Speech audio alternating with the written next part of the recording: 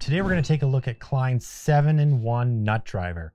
This tool is a serious tool. We've got seven ways to drive nuts, all held in with rare earth magnets, as well as nice coil springs in here. These are all reversible. Just in this one bit here alone, we've got two different sizes, half inch and 11 30 seconds on this guy. On the front, we've got a quarter inch, then we've got 7 sixteenths, we've got a 5 sixteenths, we've got a 3 eighths, and we've got a 9 sixteenths. It's really nice. You just flip them around whenever you want to use one, lock it in place, and you're good to go. This tool is definitely going to be able to put a lot of torque into it. It's just really well built. Good steel in here.